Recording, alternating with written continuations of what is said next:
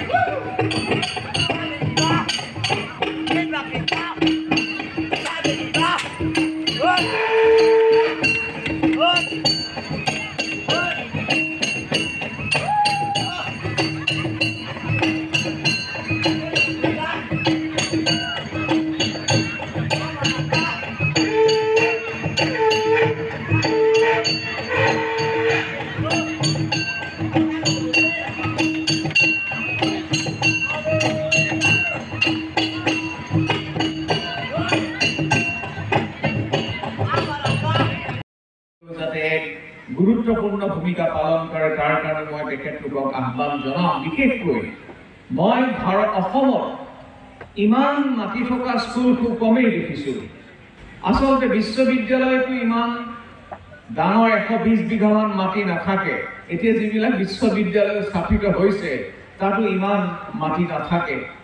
আৰু প্ৰকৃতাৰ্থত এখন বিদ্যালয় বুলি ক'লে যি প্ৰতিচ্ছবি আমাৰ মনলৈ আহে সেই প্ৰতিচ্ছবিখন প্ৰতিনিধিত্ব কৰিছে এই মুদুকী আঞ্চলিক জনজাতীয় হাইস্কুলে? ইমান সুন্দৰ পথাৰ চাই পিছফালে আপোনাৰ পাহাৰ সুন্দৰ পৰিৱেশ প্ৰাকৃতিক বিনন্দীয় ৰূপ এনেকুৱা ৰূপ মোৰ ল'ৰাটো ইঞ্জিনিয়াৰ হ'ব লাগিব বুলি কেৱল আগৰ আদি পাঠখন আওৰাই থাকিলে নহ'ব।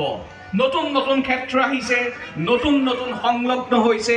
গতিকে মই কোৱাৰ ধৰণেৰে আমাৰ মাক দেউতাকেও এই পৰিৱৰ্তিত যিটো অৰ্থনৈতিক ব্যৱস্থাৰ লগত সংলগ্ন কৰি আমাৰ ল'ৰা ছোৱালীক ভৱিষ্যতৰ কাৰণে তেওঁলোকক অৱকাশ থাকিলেও কিন্তু যিহেতু মোৰ গুৱাহাটীত এটা কাম আছে মই যাবগৈ লাগিব। কিন্তু অৱশেষত মই এটা কথাই কওঁ যে আমি যিয়েই নকওঁ কিন্তু অৰ্জুনে কি দেখিলে? অৰ্জুনে দেখিলে চৰাই সেই চকুটো। গতিকে আমাৰ দৃষ্টি নিবদ্ধ হ'ব লাগিব নিজৰ লক্ষ্য নিজৰ কৰ্মৰ কাৰণে। কৰ্মৰ কোনো বিকল্প নাই। স্বয়ং ভগৱান কৃষ্ণই। ভগৱান কৃষ্ণই গীতাত কি কৈছিলে অৰ্জুনৰ আগত? কৰ্মণ্যৱাধিকাৰেষ্টু মা ফলেষু কদাসন তেওঁ কৃষ্ণই অৰ্জুনক কৈছিলে অৰ্জুন হে অৰ্জুন পৃথিৱীত এনেকুৱা বস্তু নাই যিটো মই বিচাৰিলে নাপাওঁ। গতিকে মই এনেই থাকিব পাৰোঁ কিন্তু তৎসত্বেও মই কৰ্ম কৰিছোঁ। তুমিও কৰ্ম কৰিব লাগিব।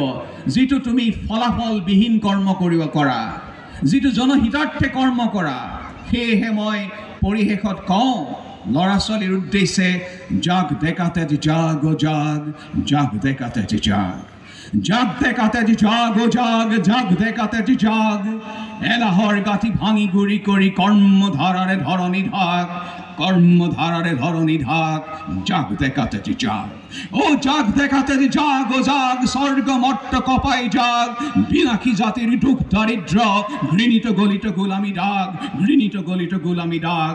জাগ জাগ জাগ ধন্যবাদ।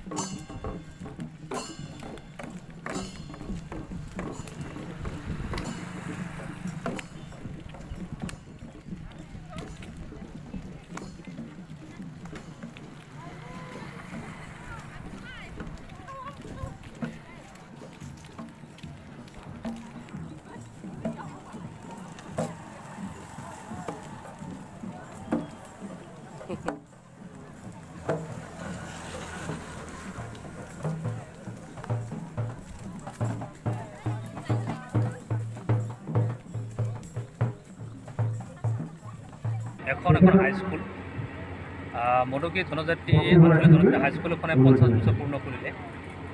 বিদ্যায়তনিক দিশত এই পঞ্চাছ বছৰ অতিক্ৰম কৰাটো এই অঞ্চলবাসীৰ কাৰণে এটা ভাল খবৰ সুখৰ খবৰ। কাৰণ এই বিদ্যালয়খন যদি নহ'লহেঁতেন তেতিয়াহ'লে এই অঞ্চলৰ মানুহে যি ধৰণে জ্ঞানৰ পোহৰ দেখিব লাগিছিল নেদেখিলেহেঁতেন গতিকে জ্ঞানৰ পোহৰ বিলাবৰ কাৰণে স্কুলখনে যি দায়িত্ব গ্ৰহণ কৰিলে পঞ্চাছ বছৰে তাৰ কাৰণে মই ধন্যবাদ জ্ঞাপন কৰিছোঁ। আৰু এই চেগতে যিসকল ব্যক্তিৰ কাৰণে স্কুলখন আজি আহি পঞ্চাছ বছৰ অতিক্ৰম কৰিছেহি সেইসকল ব্যক্তিলৈকেও মোৰ পৰা আন্তৰিক ধন্যবাদ কৃতজ্ঞতা জ্ঞাপন কৰিলোঁ এতিয়া কথা হ'ল পঞ্চাছ বছৰ অতিক্ৰম কৰা অঞ্চলত ইয়াৰ আজি এখন কোনো ধৰণৰ এখন উচ্চতৰ মাধ্যমিক বিদ্যালয় নাই ইয়াৰ কোনো এখন কলেজ নাই। আজি পঞ্চাছ বছৰ যিসকল ল'ৰা ছোৱালী ইয়াত পঢ়া শুনা কৰিছে সেইসকল স্কুলে পঢ়া শুনা কৰি আজি বিছ কিলোমিটাৰ দূৰত অতিক্ৰম কৰি গৈ তেওঁলোকে কলেজে শিক্ষা গ্ৰহণ কৰিব লগা হৈছে। এইটো এটা দুখৰ খবৰ কিন্তু মই যথেষ্ট আশাবাদী। এইকাৰণে আশাবাদী নিউ এডুকেশ্যন পলিচি যিহেতু সকলোকে সাঙুৰি ল'লে।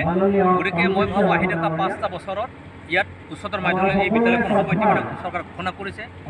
ডিগ্ৰী লেভেলৰ কলেজৰ ব্যৱস্থা নিশ্চয়কৈ অসম চৰকাৰে কৰাৰ বাবে আহ্বান জনাইছোঁ। আৰু আমি সকলোৱে মিলি ইতিমধ্যে কাউন্সিলখনে মই ইয়াত যিটো গেট আছে ৱেলকাম গেট মই ইতিমধ্যে বনাই দিছোঁ বুলি ক'বলৈ ক্ষেত্ৰত পানীৰ সমস্যা আছে সেইটো মই ইতিমধ্যে ঘোষণা কৰিছোঁ। আৰু আমি সকলো চৰকাৰ বিধায়ক আমি সকলোৱে মিলি যিখিনি আন্তঃগাঁথনি থাকে মই ভাবোঁ আহি থকা পাঁচটা বছৰত। নিউ এডুকেশ্যন পলিচি চল্লিছ বছৰৰ পিছত ই শিক্ষানীতি পৰিৱৰ্তন হৈছে ভাৰতবৰ্ষত আৰু এই আমূল পৰিৱৰ্তনে কি হৈছে যে সকলো শ্ৰেণীৰ মানুহক সকলো ধৰ্মাৱলম্বীৰ মানুহক একেলগে লগত ৰাখি কেনেকৈ অঞ্চলটো আগুৱাই নিব পাৰে সেই ধৰণৰ চিন্তা নিউ এডুকেশ্যন পলিচিটোৱে সাঙুৰি লৈছে আৰু সেইকাৰণে ভাবোঁ নিউ এডুকেশ্যন পলিচি যিটো ষ্টাৰ্ট হৈছে অহা পৰা ষ্টাৰ্ট হ'ব এতিয়া ষ্টাৰ্ট হৈ গ'ল গতিকে মই ভাবোঁ এই অঞ্চলত ডিগ্ৰীকে আদি কৰি সকলো ক্ষেত্ৰত ই সাঙুৰি ল'ব আৰু অসমবাসী ৰাইজ মধুকী অঞ্চলবাসী ৰাইজ আমি সকলোৱে মিলি নিউ এডুকেশ্যন পলিচিটো অন্তৰত লৈ আমি আগবাঢ়ি যাব লাগিব আৰু শিক্ষাৰ পোহৰটো আমি আগুৱাই নিবৰ সক্ষম হ'ম।